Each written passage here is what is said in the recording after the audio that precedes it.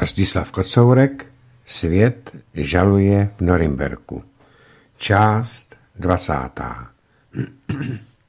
Desátý týden, pondělí 28. ledna. Světší žena. Paní Marie Claude Vaillant Courtier přísahá, že bude vypovídat bez zášti a obav a bude mluvit pravdu, celou pravdu a jenom pravdu. Bude mluvit pravdu. Vždyť nechtěla podepsat protokol, který obsahoval jiné věci, než vypovídala. Bylo to v německém oddělení věznění Santé v červnu 1942. Řekla německému důstojníku, že nepodepíše, že se nebojí ani smrti, ani toho, že může být zastřelena. Řekl jí na to německý důstojník. Ale my máme prostředky, které jsou daleko horší než obyčejná poprava zastřelením. Neuvědomujete si ani, co jste právě udělala. Půjdete do Německa, do koncentračního tábora a odtamtud není návrat. Bude mluvit celou pravdu. Jediné, v co jsme mohli doufat, bylo, že několik z nás vyjde ven a bude moci říci světu, jací jsou nacisté. Bude mluvit jenom pravdu. Když jsme se tázali ve stanicích rotrinských vojáků, kdy přijedeme na místo, odpovídali. Kdybyste věděli, kam jedete, nepospíchali byste tolik.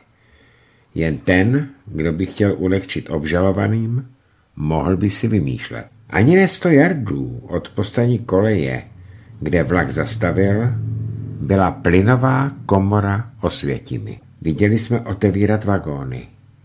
Vojáci vytahovali muže, ženy a děti z vagonů. Srdce rvoucí scény, když staří manželé byli od sebe odtahováni.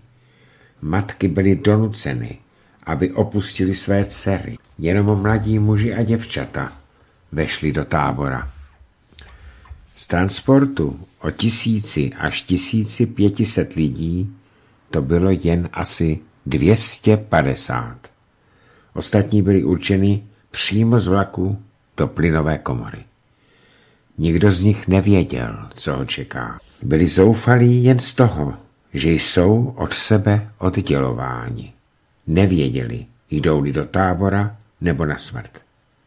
Orchestr, sestavený z vězňů tábora, měl jim udělat veselé přivítání. Členky orchestru byly mladé dívky, pěkně oblečené v bílých blůzkách. A zatímco byli oddělováni lidé pro tábor od lidí pro plynovou komoru, hrál orchestr veselé nápěvy, jako Veselou vdovu, anebo Barkarolu z Hoffmanových povídek a podobně. Řeklo se jim, že přijíždějí do pracovního tábora, z něhož neviděli za dvojitým osnatým drátem nic jiného, než plošinku pokrytou zelení a květinami. Viděli orchestr, nemohli tušit, co je čeká. Ti vybraní pro plynovou komoru byli odvedeni k budově z červených cihel.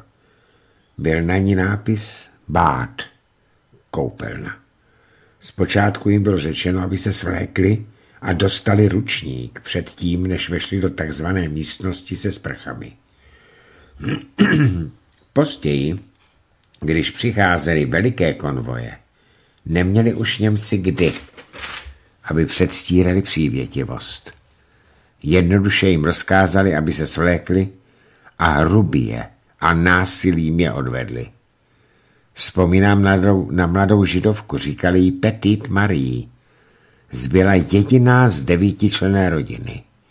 Její matka a sedm jejich sester a bratří bylo usmrceno plynem hned při příjezdu do tábora. Když jsem se s ní seznámila, byla zaměstnávána s lékáním malých dětí předtím, než byly dány do plynové komory. Ti, kdo byli odvedeni z vlaku rovnou na smrt, nebyli ani zaněseni do seznamu a nebyli ani počítáni. Je těžko vyvolat přesnou, přesnou představu o koncentračních táborech v tom, kdo v nich nebyl. protože mohu jen líčit příklady hrůzy, ale není mi možno vzbudit dojem té nekonečné jednotvárnosti. Zeptali se kdo, co bylo nejhorší, nemohu odpovědět, protože všechno bylo příšerné.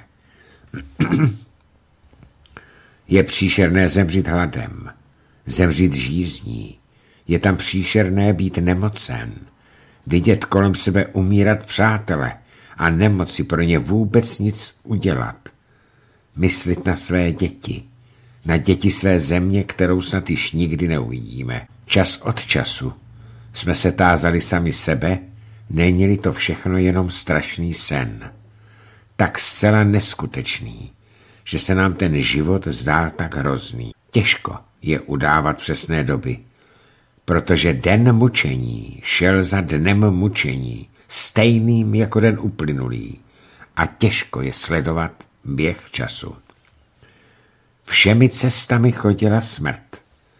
Jednou z příčin smrti byly boty. Za týden nebo dva byly kožené boty ve sněhu a v polském blátě při odvodňování bažin zničeny. Nohy jsme měli omrzlé nebo bolavé. Spali jsme na nich, na svých zablácených botách, aby nám je nikdo neukradl. Při rozkazu k nástupu bylo slýchat výkřiky zoufalství. Moje boty! Někdo mi je vzal! Museli čekat, až se místnost vyprázdní, hledali se a často našli. Našli dvě boty levé nebo pravé, nebo jednu dřevěnou, druhou koženou. A to stačilo pro nástup. Ale zvýšilo to utrpení při práci. Nohy bolavěly. Mnoho mých přítelkyní šlo do nemocnice s ranami na nohou a už jsme je více neviděli. Vězněné židovské ženy, které přišly k nástupu bez bod, byly odvedeny i hned na blok 25 a dány do plynu. Vůbec byly posílány do plynu pro jakoukoliv příčinu. Jejich situace byla načisto úděsná. Úmrtnost v bloku 25 byla ještě větší než jinde, protože ženy tam vězněné, tak jako tak odsouzené k smrti, dostávali jíst, jen když něco zbylo v kuchyni a vody na ně nezbývalo skoro vůbec. Anet, jemná žena, asi třicetiletá, šla kolem bloku. Ženy volali od rána do noci ve všech jazycích. Pít, pít, pít a vodu, vodu. Anet našla v našem bloku trochu bylinného čaje a nesla jej žíznivým. Když jim jej podávala oknem, chytil jí strážný za krk a hodil jí do bloku 25. Nikdy nezapomenu na Anet. Za dva dny byla naložena na vůz, vezoucí vězně k plynové komoře. Tiskla k sobě jinou francouzsku. A když se vůz rozjel, volala na nás. Myslete na mého synka, dostanete-li se do Francie. A když se vůz vzdaloval, zpívali Marsejézu. Ošetřovna nebo nemocnice nemůžete toto jméno dávat místu v Osvětimi, protože nemá nic společného s představou ošetřovny a nebo nemocnice. Těžko bylo dostat souhlas k tomu, aby se tam nemocný dostal. Celé hodiny ve sněhu a dešti museli nemocné ženy čekat ve frontě, i když měli 40 stupňů horečky. Mnohá z nich zemřela v této frontě. Už čekání v tomto zástupu nemocných bylo nebezpečné. Byla-li fronta příliš dlouhá, přišli SS a odvlekli všechny čekající ženy do bloku 25, to jest na smrt plynem. Proto mnohé dávali přednost smrti při práci nebo při nástupu. Jedinou výhodou ošetřovny bylo, že se nemuselo k nástupu. Postele byly užší než jeden metr. Čtyři ženy s různými nemocemi na nich ležely. Některé přišly do nemocnice s oteklýma nohama a zemřeli na tyfus nebo úplavici. Ticho tohoto předpokoje smrti bylo přerušováno jen nadávkami Němek v nemocnici pracujících a čas od času utajeným vzlikem děvčátka, vzpomínajícího na svou matku nebo na svou vlast kterou již nikdy neuvidí. Němci sterilizovali ženy buď očkováním nebo operacemi a také ozařováním. Říkali, že hledají nejlepší metodu pro sterilizaci, aby mohli nahradit v jedné generaci místní obyvatelstvo Němci po válce a po vyhlazení obyvatelstva, které pro ně bude pracovat jako orto, otroci. 5. února byl společný nástup celého tábora. Denní nástup se konal v půl čtvrté ráno uvnitř tábora. Všeobecný nástup byl v tutéž dobu na pláni. Zůstali jsme před táborem až do pěti odpoledne. Sněžilo. Nedostali jsme ani trochu jídla. Na daný rozkaz jsme museli procházet branou jedna po druhé. Každá z nás dostala ránu holí dozad na pobídku k běhu. Ty, které běžet nemohly, protože byly příliš staré nebo nemocné, byly chyceny hákem a odvedeny do bloku 25, jemu se také říkalo čekárna pro plynovou komoru. SS si ušetřili mnoho práce a lidí tím, že užívali zločince pro dozor v táboře. Byli to Němci, někdy také příslušníci jiných národností. Korupcí, denuncianstvím a terorem podařilo se jim udělat ze sebe pravá zvířata v lidské podobě. Je proti nim tolik obvinění, jako proti SS. Byli právě tak surově jako SS. Zneličtili je a to právě SS zamýšleli. Když jsme opouštěli Osvětím, nevěřili jsme svým očím a naše srdce se svírala, když jsme se podívali na skupinu 49 žen. Mysleli jsme na 250 těch, s nimi jsme přišli před 18 měsíci. A zdálo se nám, že vycházíme ze samého pekla. A že poprvé nám svítla naděje, že přežijeme. Vyšli jsme s osvětimi a byli jsme poslány do Ravensbricku. Do bloku NN, tedy Nacht und Nebel. S námi tam bylo asi sedm tisíc spolek. Říkalo se jim králíci. Byli vybrány z polských transportů, protože byli mladé a měli rovné nohy, zdravé tělo. Byly na nich zkoušeny různé operace. V táboře osvětimi byl zřejmý a jasný účel. Vyhlazení. Nedbali o pracovní výsledek. Vyžadovalo se na vězni, aby byl schopen být na nohou od rána do noci. Ať si nesl jednu cihlu, anebo deset. Poznali jsme, že tam práce nerozhoduje. Lidé tam byli jako otroci. Byli zabíjeni. To byl účel všeho v táboře. Ravensbeck byl táborem výběru. Jakmile přijel transport, byl velmi rychle rozdělen do muničních továren, do pracháren, na stavbu letišť a na kopání zákopů. Vedoucí továren sami přicházeli a v doprovodu SS si vybírali potřebné lidi. Vypadalo to jako na trhu s otroky. Ohmatávali svály. Chtěli vidět lístek vybraného z daty. Pak byla lékařská prohlídka. Později byla lékařská prohlídka jen formalitou, brali totiž každého. Schneider 1 vyráběla 200 párů kalhot za den ve dvou směnách. Směna byla 12 hodin práce. Zpočátku noční směna dostávala v půlnoci kousek chleba. Později to zrušili. A pracovalo se rychlým tempem. Nebylo ani kdy jít na záchod. Ve dne v noci byly ženy byty SS, muži SS i ženami SS. Byly byty, protože se zlomila jehla, nebo protože nit byla špatné jakosti, anebo protože se porouchal stroj, anebo prostě proto, že se mužům nebo ženám SS nelíbily jejich tváře. Kránu bylo na pracujících vidět, že jsou tak vyčerpány, že jim každé hnutí působí bolest. Pot jim stál na čele, téměř neviděli. A když nebylo hotovo sto párů kalhot pro německé vojáky, hlavní hlídač mlátil jednu po druhé tak, že ta poslední byla skamenělá hrůzou, očekávajíc, až přijde řada na ní. Vzduch v pracovní místnosti byl hrozný. Okna nesměla být otevírána z důvodu zatemnění a ventilace tam nebyla žádná. Všechny ženy, které pracovaly ve Schneiderei 1, se proměnily za několik měsíců v kostlivce. Oči zapadlé, nervové křeče, způsobené strachem před ranami. Zpočátku byly vybírány ženy pro Jagendlager, hlavně v nemocnici. Říkalo se tomu tak, že to bylo před válkou polepšovna pro německou mládež. Na začátku roku 1944 doktor Winkelmann prováděl výběr i v blocích. Vězněné ženy musely nastoupit ve sněhu bosy a ukázat svá prsa a nohy.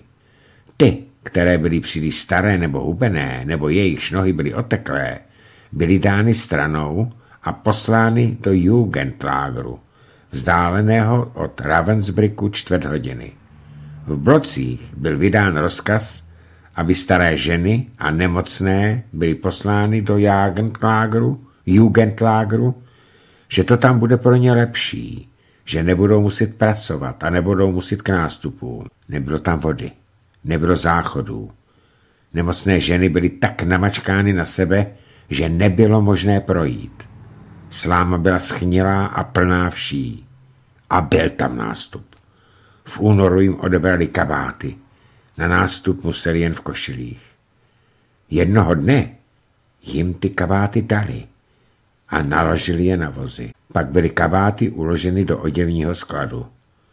Byla na nich adresa Mitwerder. Nebylo takové místo. Byl to název pro plynové komory. Dva tisíce nemocných žen nechali Němci za sebou v táboře při ústupu. Nechali nás bez vody a světla. Naštěstí přišli rusové hned druhý den. Je nemožné popsat obraz mužského tábora po osvobození. Byli pět dní bez vody. 800 jich bylo těžce nemocných. 400 francouzů jsme našli, když jsme po osvobození přišli do jejich tábora. Do Francie se jich vrátilo jen 150. Pro ostatní již bylo příliš pozdě a všechna naše péče a snaha byla marná. Křížový výslech. Doktor Bláha, doktora Bláhy se ptali, obhájci, zda mu američané věřili všechno, když poprvé vypověděl, co viděl v koncentračním táboře v Dachau. Francouzské svědkyně se ptá obhájce Streicherův, zda před válkou nebyla zaměstnána jako přednašečka nebo učitelka. Nevím, co to má dělat s tou věcí. Byla jsem novinářka. Zo, zo, s uspokojením kvituje obhájce. Věc je totiž ta. Ve své výpovědi jste ukázala velkou plynulost ve slohu i výrazech. Proto jsem se ptal, nebyla jste přednašečkou nebo učitelkou? Ne, byla jsem novinářkou, fotoreportérkou. Při křížovém výslechu se zdá, že obhájci mají za zlé svědkům, že se z koncentračních táborů vrátili a jejich otázky v tom směru jsou neomalené. Jak vysvětlíte, že jste tím vším prošla tak dobře, že jste dnes v tak dobrém zdravotním stavu? Především jsem byla osvobozena už před rokem a za rok se člověk může zotavit.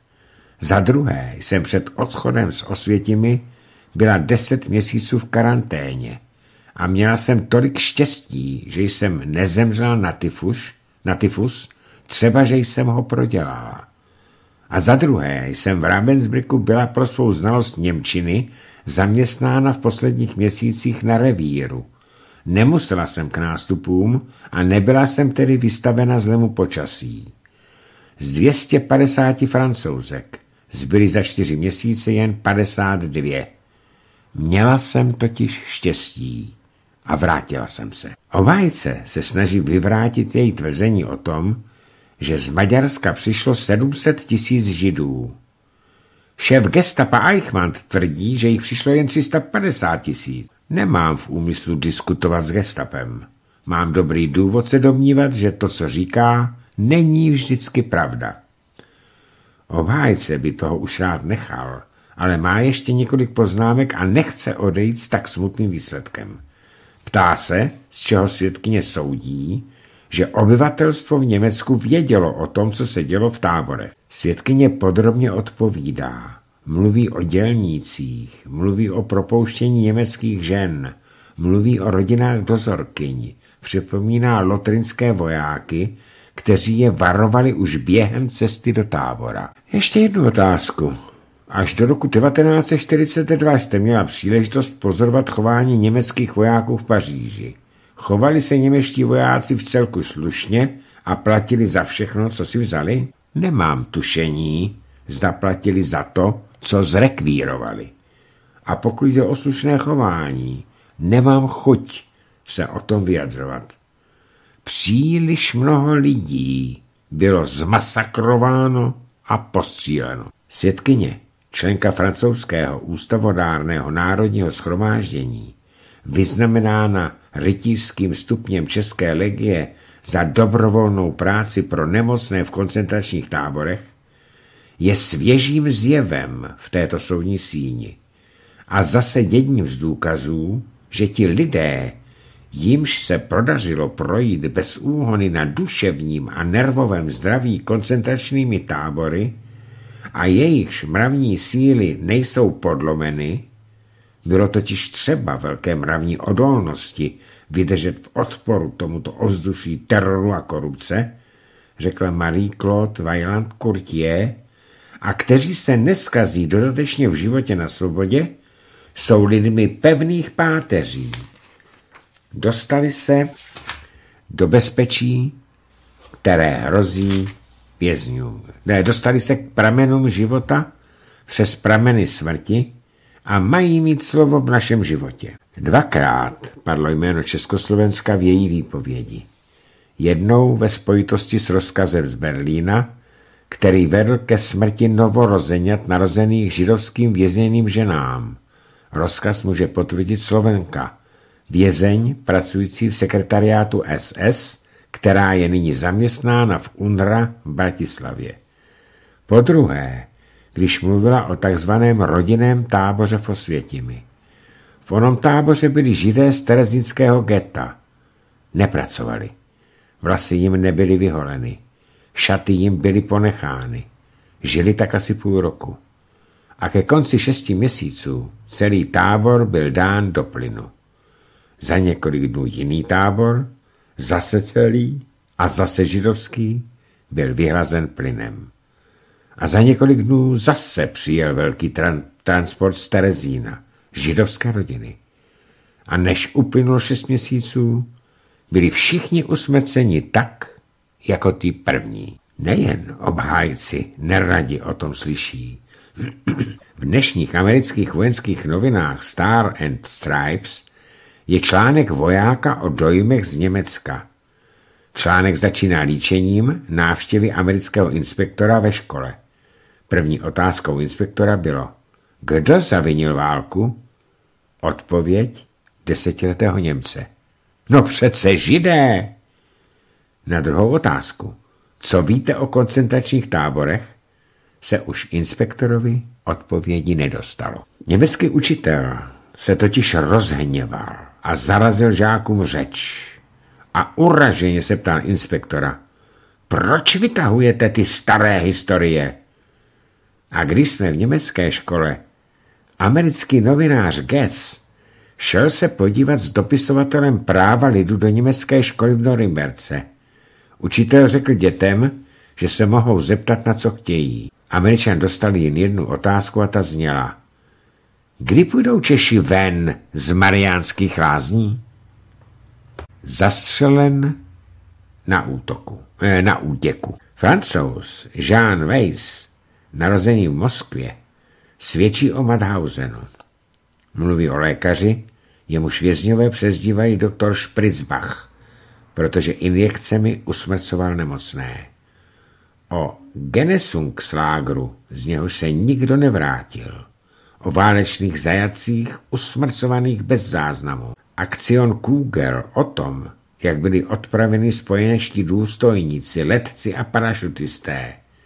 Donutili je k práci nad jejich síly. Vynášeli po schodech zlomu kameny. Těžší a těžší, až byli u konce svých sil a jak řekla paní Kurtie o jedné nemocné, neměli už ani odvahu zápalit o život. Snažili se dostat ke drátům. Šli buď to dobrovolně, nebo tam byli hnáni. A když byli asi na metr od nich, byli postříleni dávkami z kulometu. Napsáno bylo zastřelen při pokusu o útěk. Obhájce SS je zvědav na podrobnosti. Dostává se mu jich. Letci byli hnáni k ohradě z osnatých drátů strážemi a SS vojáky. Všichni zaměstnaní Němci tábora byli přitom. SS důstojníci mlátili právě tak jako jeden nebo dva kápové, zločinci, kteří byli někdy horší než SS. Vykonávali tu špinavou práci, již si ani SS nechtěli špinit ruce. Obhájce Kalterbrunnerův zahajuje své otázky. Jeden bod výpovědi se týká věci, která snad je nejdůležitě, nejdůležitější z celého obsahu tohoto procesu. Předseda. Toto není chvíle pro pronášení řečí. Obhájce. Ano, je to otázka odpovědnosti německého národa. Svědek vypověděl, že civilní obyvatelstvo mohlo vědět, co se v táboře dálo. Pokusím se několika otázkami odhalit pravdu. Svědek mu pomohl tuto pravdu odhalovat. Okolní obyvatelé nebyli při popravách, ale viděli mrtvoly ležící po celé cestě konvojů. Mrtví byli prostě vyhazováni z vozů. A viděli je, když byli mrtví vykládáni z vagonů. Dozvídali se pravdu od vězňů pracujících mimo tábor. Ano, bylo zakázáno mluvit o tom, co se v táboře dálo. Vím, že propuštění museli podepsat prohlášení, že nikdy neprozradí, ale tento zákaz málo kdo z těch, kteří přišli do styku s ostatním obyvatelstvem, dodržel. A konečně bylo tam přece krematorium. Vrhalo plameny tak vysoko, že mohly být pozorovány na mě daleko. Museli přece projevit zvědavost a ptát se, co je to za plamen a proč tam je. Obhájce, nemám dalších otázek. Další svědek, Viktor Dupont, rytíř čestné legie, vypovídá o Buchenwaldu. Za jednu ze svých nejtragičtějších vzpomínek označuje událost ze zimy 1944. Několik set cikánských dětí bylo dopraveno do tábora. Byla to jakási administrativní záhada. Nikdo neví, proč se byly poslány.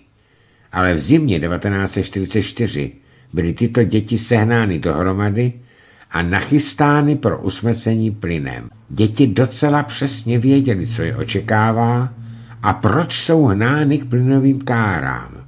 Plakali, ječeli, když byly do nich nakládány.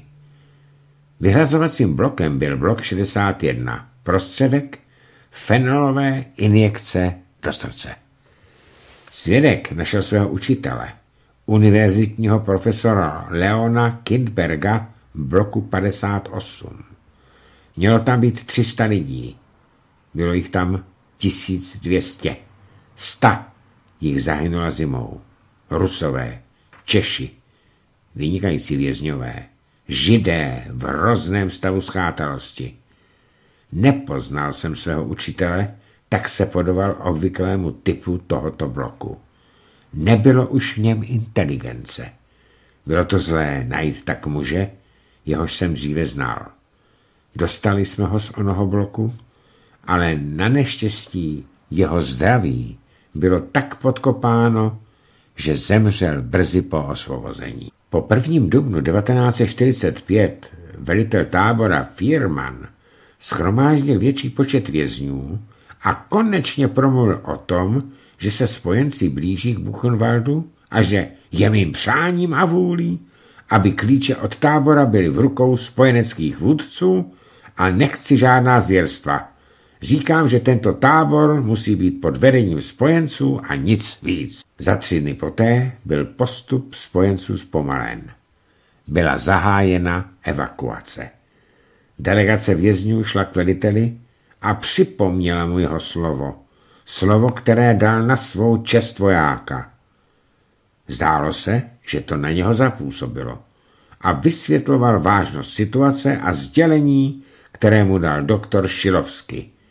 Šilovsky dal rozkaz, že nesmí v Buchenwaldu zůstat ani jediný vězeň.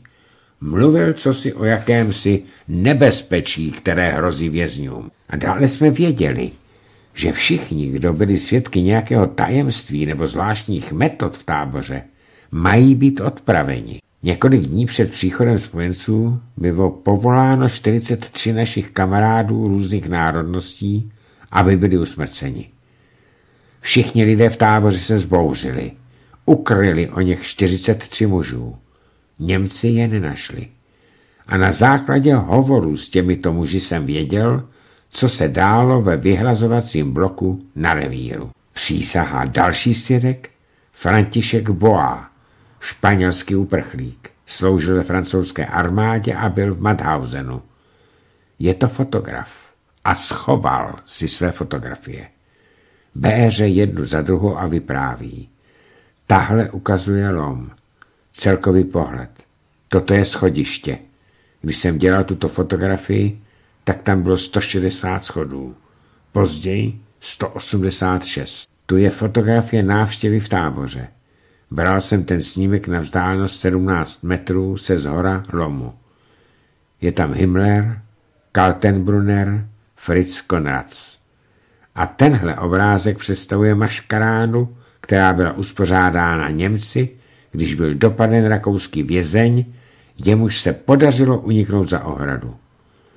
Posadili ho na vozík, v němž obyčejně byly převáženy mrtvoly do krematoria, zpívali německy cosi jako každý ptáček se vrátí do svého hnízda, defilo, defilovali tak s ním před deseti tisíci nastoupených vězňů, cikánská kapela hrála Žatedré a když ho věšeli, hrála kapela polku Škoda lásky. Tohle je ruský důstojník. Donutili ho, aby začal šplhat po ohradě a střelili ho do hlavy. Obrázky dělal profesor Paul Rickens Essenu. A tihle mrtví jsou holandští židé. Vidíte rudou hvězdu, kterou museli nosit? SS je poslali sbírat kamenky u ohrady a jiní SS je postříleli. Dostávali totiž prémie za každého mrtvého. A tady to, to je ruský žid. Fotografie byla vzata v roce 1942, v době, kdy byl stavěn takzvaný ruský tábor. Pověsil se na provaze, jehož užíval jako opasku na kalhoty. Obrázek fotografoval Fritz Kornac kvůli kalhotám, které mrtvému spadly ke kotníkům. Byla to sebevražda? Takzvaná.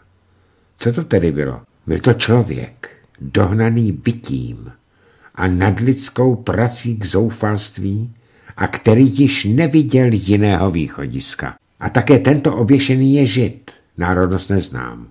Potápěli ho v sudě s vodou, vytahovali ho a mlátili ho skoro k smrti. Pak mu poručili, aby se do deseti minut oběsil na svém vlastním pásku. Věděl, co ho čeká, neuposlechneli. Fotografoval to profesor Ricken. A toto je návštěva vídeňské policie. Tohle je vězeň z disciplinární kompanie. Nosil až 80-kilové kameny, až se vyčerpal. A tady je zase guvernér města Lince, Heilgruber s velitelem tábora Cajrajsem. 800 8 tisíc španělských republikánů bylo v Madhausenu. 1600 jich zbylo. Ve výslechu bude pokračováno. Úterý 29. ledna. Svědek na vlastní pěst. Poznáváte kromě Kaltenbrunnera ještě někoho z význačných osob mezi návštěvníky Madhausenu? Pana Špéra. Kdy jste ho viděl? v roce 1943 v táboře Kušin, nedaleko Madhausenu.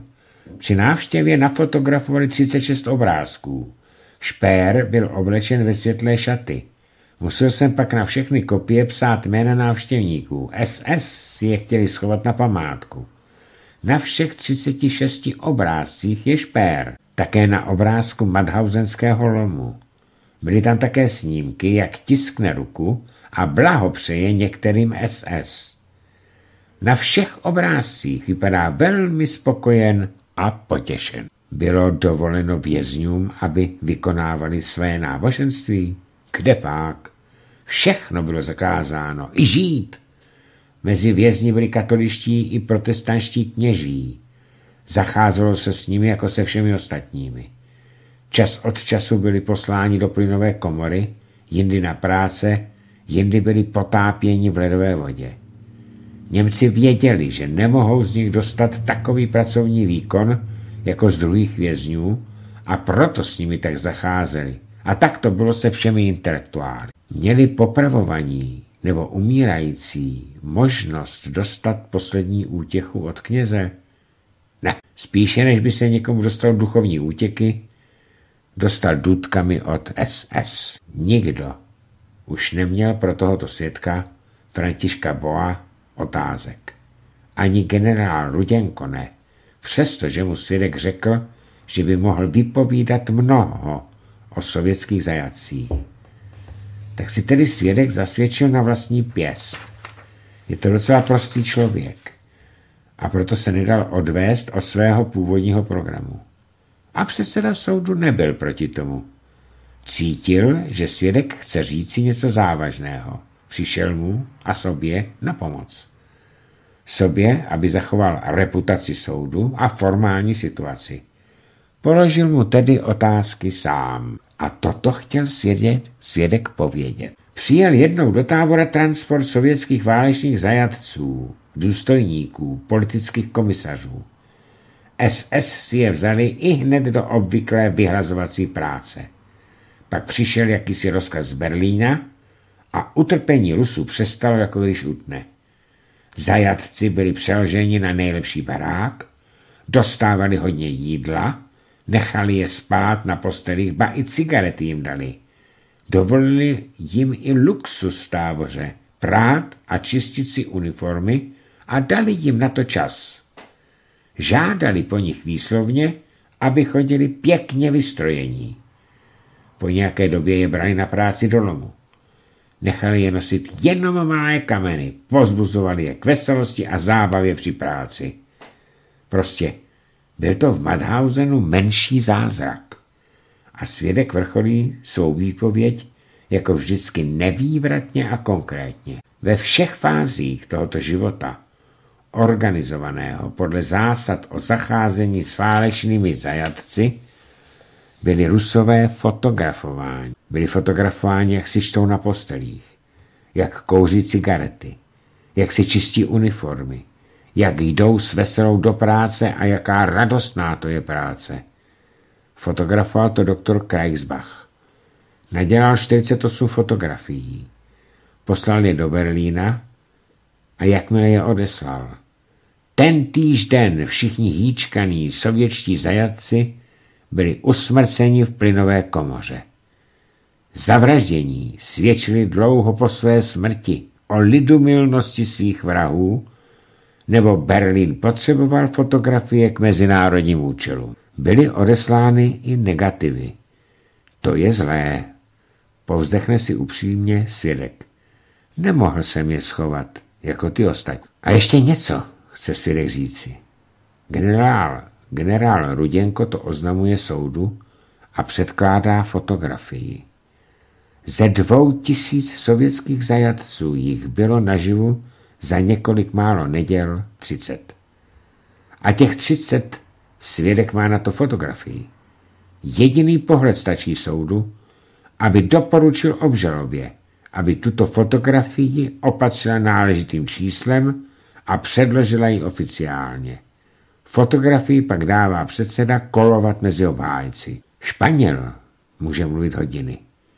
Mluví o jihoslovanech, s nimiž Němci zacházeli právě tak nemilosrdně jako s Rusy a Poláky. A vykládá o kápech. A protože je prostý člověk, dává za svým svědectvím prostou tečku. Mnoho lidí je dnes mrtvo, protože odmítli stát se zvířaty. Nepřijali nabízenou a vnucovanou funkci kápa. Kápové byli hodni toho, aby byli přijati do SS. Osvobození vězňové kápy, které se jim podařilo pochytat, odsoudili je a popravili. Bylo zajímavé vidět tento důstojný soud, jenž s takovou pečlivostí zkoumá každou maličkost, aby nalezl spravedlnost, jak samozřejmě vzal na vědomí, že vězňové soudili a vězňové popravili. Nad nelidskostí se rozhořčovali jenom obžalovaní. Mluvě o návštěvách potvrdil svědek, že návštěvníci viděli v táboře prakticky všechno. Jenom když přišli návštěvy úředníků z Polska, Rakouska, Slovenska a podobně, vedli je do té lepší části tábora. Ukázali jim kuchyni a vězně zdravě vyhlížející a tlusté s tím, že takový jsou všichni ostatní. Po výslechu ukazoval Francesco Boa Gelovi fotografický aparát, lejku, s níž v Madhausenu bylo fotografováno. Tu jsem soudu neukázal, aby mi ji předseda nedal uložit ke spisům. Takže to bylo dnešní čtení na pokračování z knihy Rostislava Kocourka Svět žaluje Norimberku. A protože od 19. hodiny máme na pořadu cyklu První světová válka, tak si teď dáme čtvrt hodinky přestávku.